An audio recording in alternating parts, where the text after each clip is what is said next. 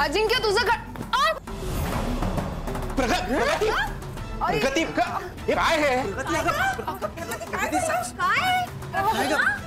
काय? झालं? काय ग बाळा? नाही काय नाही मी किती घाई? तुला खरंच वेळ लागलाय श्रेया. मुळात मी प्रगतीवर प्रेम करतो हे तुला कोणी सांगितलं?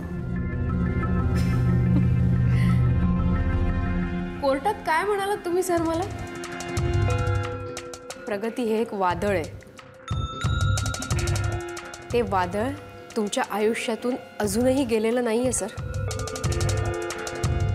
हे मला आणि फक्त मला माहिती आहे माझ्यापासून काही लपवू नका सर.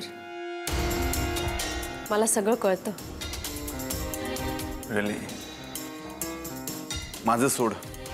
तू काय बोलतेस? तुझं अजिंक्यवर प्रेम आहे. अर्थात?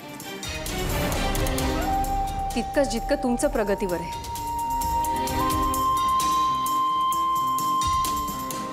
पण त्यांचं लग्न झालंय. आणि सगळ्यात महत्वाचं म्हणजे तुझ्या जीवश्च मैत्रिणीचा नवरा आहे तो. सो वॉट प्रगती पण तुमची कलिग आहे सर. नाही. शिष्या. गुरु मानते ती तुम्हाला. तरी तुम्ही तिच्यावर प्रेम करताच ना. ती सुद्धा कोणाची तरी बायको आहे.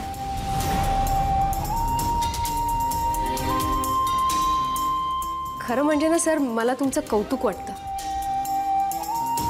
सगळ्यांसमोर स्वतःच्या प्रेमाची कबुली दिली होती तुम्ही. सर तुम्हाला आठवतं एकदा तुम्ही मला म्हणाला होता जर तू कोणावर प्रेम करत असशील तर ते त्या व्यक्तीला सांग. आता मी तेच करायचं ठरवलंय.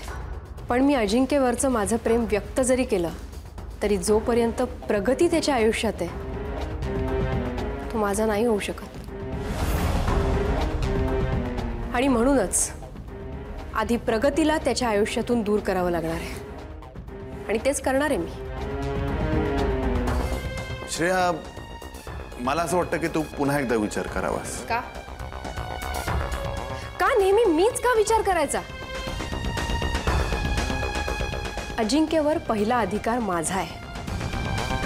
माझं लग्न आधी झालंय त्याच्याशी. अजिंक्यशी माझं नातं तेव्हाच जोडलं गेलंय सर. आता फक्त ते नातं मी निभावणार आहे. कधी ना कधी त्याला माझं प्रेम नक्की कळेल. आणि तो माझा होईल. आणि समजा तू म्हणतेस त्या प्लॅनमध्ये तू सक्सेसफुल झालीस.